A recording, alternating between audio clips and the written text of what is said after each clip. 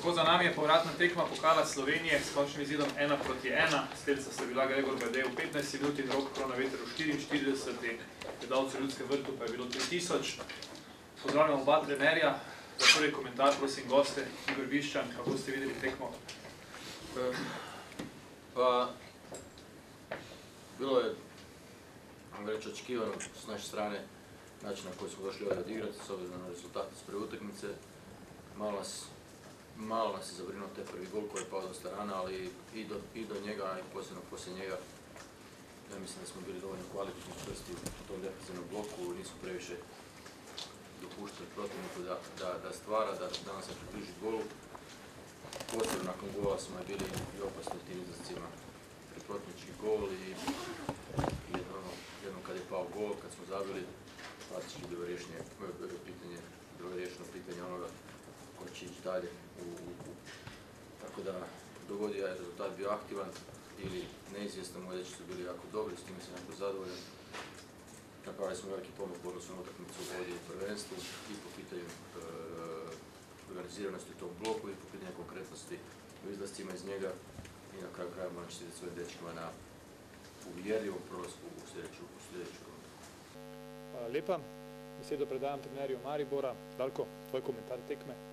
Tako je pokazalo se, da zaostanek z prve tekme bil prevelik. Eh, Začeli smo dobro, začeli smo po, po načrtih, prevzeli inicijativo, uh, ustvarjali uh, proti zaprti postavitvi nasprotnika po priložnosti zadeli in potem bili v nekem trenutku nepazljivi, kar je res škoda, da se nam zgodi, da, da dobimo gol po, po naši prekinitvi, to pomeni, mi imamo korner, pa predtem so nam že en, eno kontro zložili, kar ni bilo dovolj opozorila, da bi se držali na vodil. Škoda, ker je uh, zadetek nasprotnika jasno nas še bistveno bolj oddaljil od, uh, od uh, cilja in je bilo potem, potem skoraj nemogoče v tej fazi tekmovanja narediti preobrat. Hvala. Prosim za vprašanje. Ja. Zuninovič, v tekmo ste šli tako, da se prvi trenutek zdelo, da verjamete, da ste zmožni eh,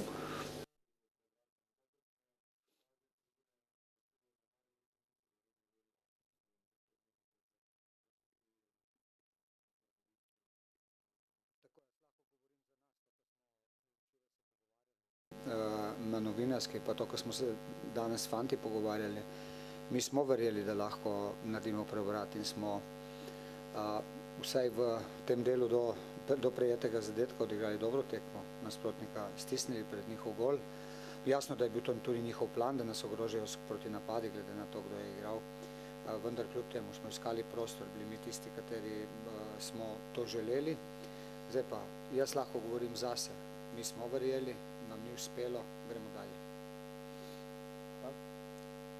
Ja. A, Gospod Miljevič, eh, fantje so po prvenstveni zmagi poudarjali pomembnost Zlatka Zahoviča na klopi, ko so tako zelo odločilne prelomne tekme. Mislim, da ga danes ni bilo. A, Zakaj, kako, kako to vidite? Njega vprašajte. Naslednje vprašanje, ja. Milanič, kolega vas je že vprašal o obisku. Vam je mogoče manjkalo ta dodatna spodbuda, ta recimo peka ljudskega vrta, da bi lahko bolj uh, jurišili proti bolj posebni preobrat? Odgovoril bom isto, mi smo želeli zmagati, to smo pokazali. Zdaj pa razloge, zakaj eh, ni bilo več gledalcev, to je redko zdaj na, na srečanju eh, Maribor Olimpije, tako malo število gledalcev. Zakaj je tako, ne vem, verjetno so se bali povratka domov zaradi snega, ne vem, jaz ne vem tako da. Gospod Biščan, trije derbi v novembru so mimo, zdaj če pa tekmete črto, kako ste zadovoljni s končnim izkupičkom? Pa, po pobjeda svakom i neodlučan rezultat danas. Pogledajte, iz naše perspektive su stvari možda malo pozitivnije, iskreno, jer e, bodovna razlika u prvenstvu je ista kao što je bila i prije prve utakmice, a mi smo prošli dalje kupu i na način da smo izbacili i to uvjerljivo najvećeg protivnika, to jest najvećeg rivala e, u tom natjecanju. Tako da, iz te perspektive mislim da smo mi ipak nekako izašli pozitivno. gospoda Milaniča. Eh, Zdaj, kaj ste potegnili črto, je prvenstvo, Gorica, igralne razmere so težke, konca sta še dva kroga, verjetno vam eh, ob tem, da imate še evropsko tekmo, nikakor ne bo lahko, kaj ne? Tako je, zdaj uh, s tem, ko smo se uvrstili v Ligo prvakov, uh, smo naredili super stvar, jasno pa, da se zavedamo, da je, da je s tem uh, marsikaj bistveno teže, da se napori vrstijo in da, in da je vse to skupaj v tej fazi tekmovanja bistveno teže izdržati. Če pogledate, mi smo do tega trenutka imeli 11 tednov manj od nekaterih moštev za normalen ciklus treninga. Je res, da po drugi strani nam uh, igranje v Ligi prvakov prinaša samozavest in uh, te preko potrebne izkušnje tekmovanja z boljšimi ali pa z, na, na visokem nivoju. V na tem trenutku se je pokazalo, da nam uh, tudi nekaj odnaša, da nam je malo, malo substanc mogoče tudi, tudi zmanjkalo in da so pomembne tekme, uh, te tri, katere prihajajo, se zavedamo popolnoma, to pomeni, bomo morali aktivirati vse moči, ki jih imamo. Če pogledamo zadnje tekme, Olimpija doma v prvenstvu odlična tekma, uh, Spartak odlična tekma, to ne govorimo o Spartaku, kar o nekim, govorimo o ekipi, katere je naslednji krok Zenita sprašila, da je bilo grdo videti. To pomeni, da imajo kvaliteto. Mi smo se odlično nosili, v celju dominirali, nam je malo zmanjkalo v, v vseh teh zaključkih, napadalnih akcijah, malo te svežine, ki je zdaj enostavno ni. To pomeni, mi uh, smo v trenutku, ko smo se plasirali v, v, v Ligo prvakov, je bila skrita želja, da zaostanek ne bo prevelik, ker smo se zavedali, kaj nam bo to vse skupaj prinašalo. Zaostanka ni, imamo celo plus zaradi, zaradi a, boljšega medsebojnega srečanja. To pomeni, vse je pozitivno, pičimo naprej. Da je težko, je zelo. Gospodine Bišćanu, na, zadnjoj prvenstvenoj utakmici uh, spasio vas je, ajmo reći tako, Rok Kronoveter, opet vas je sad spasio Rok Kronoveter. Koliko su dobili sad sa njim i koliko on vaša neka prednost, neki adut iz rukava za, za to sve što, to što slijedi sada? Gledajte, to je jako kvalitetan igrač i, on će sasvim sigurno dos- dosta doprinijeti našim rezultatima, posebno u fazi igre prema naprijed koji je sposoban svojim potezom odlučiti pobjednika ili odlučiti utakmicu koja, koja je ovog tipa. Tako da mislim manje više njegove kvalitete vi možda bolje znate nego ja jer je prošle sezone, prošle sezone bio prvi igrač prvenstva i mi smo ga čekali, mi smo na neki način e, ostali e, e, uz njega, on, on, je, on je odlučio i, i shvatio da, da, da je neko brine o njemu i da, da, da mi znamo koliko nam znači. I to nam se sad vraća njemu i nama. I ukoliko on ostane zdrav ukoliko ovaj, nastavi ovako raditi, on će sad sigurno i još nakon tih priprema koje će proći biti još bolji i još bitniji za našu Mene zanima, kakšna je situacija z Mešanovičem. Boštjanovič ima arkado počeno in uh, ker se mu je, uh, mislim, da je mo, močno omotičen bil, je v bolnici. Pretres. Ja, zdaj kakšne stopnje. Ja. Uh, gospod Milanič, danes ste bili zaradi manjkajočega šulerja, težav v obrambi, uh, nekako tudi celo prisiljeni nuditi priložnost Lukiju Skokoviču. Ocena? Pozitivna. Gospodine Bišćanu, da, danas ste prve minute počeli sa Andreasom Vumbergarjem. E, Šta ste htjeli s njime dobiti i da li je opravdao vaše očekivanje?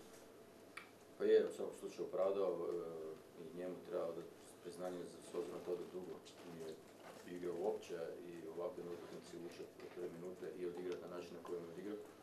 To znači da je bio jako, jako pokretljiv, čvrst u tim duelima, visoke duge lopte, spuštao, smirivao, nudio se u prostor, na kraju kraja mislim da je on bio taj koji je namjestio e, pogodak.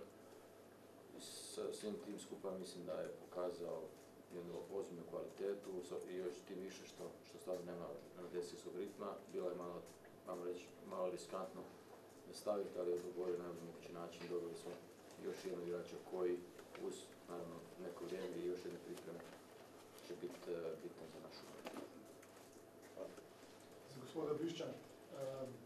Mariborom ste zdaj v borbi za naslov prvaka, eh, ne samo jesenskega, ampak tudi za eh, končni naslov.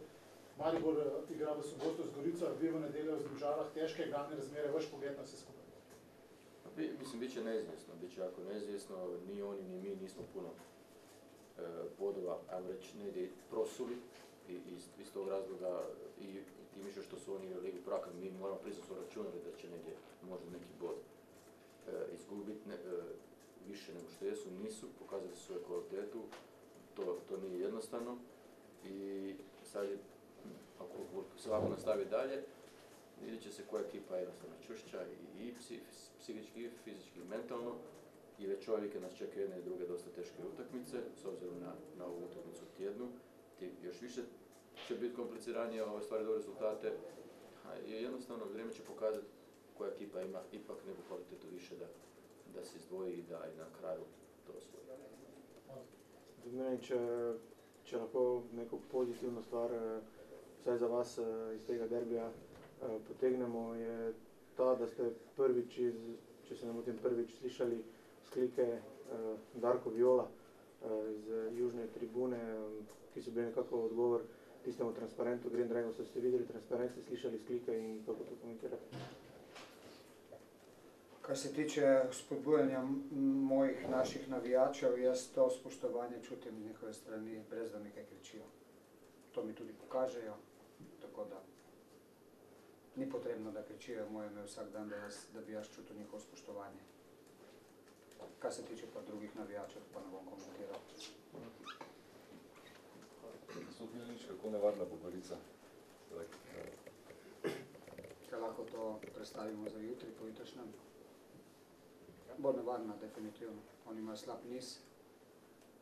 Mi smo jasno favoriti in bomo se pa pogovorili jutri, pojutrišnjem, ko jih ko prešaltamo na to tekmo, rade volje.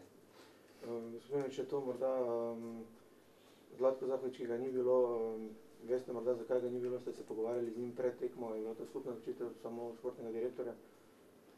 Zdaj tako, da bi vam, vam pa tudi vašemu kolegu za, za zdaj za bodoče razložil, kako je, pa dajte prosim res vprašati njega, on se odloča sam, tako da to, kdaj bo na klopi, ni na en dogovor, ampak se on odloča sam in odgovor boste morali vsakič posebej poiskati pri njemu, to bi vas lepo prosil. Je pa na vsaki tekmi, on to ve, dobrodošel. Uh, za nadaljne vprašanje pa bi lepo prosil, da me ne več ne sprašuje, da vprašate njega, ker jaz bom zmeraj dal isti odgovor, da sem vesel, da je z nami na klopi, koga pa ni, pa ga ne vprašam, zakaj se je tako odločil, kaj bi prišel, če bi vsakega spraševal, ko se je kaj odločil.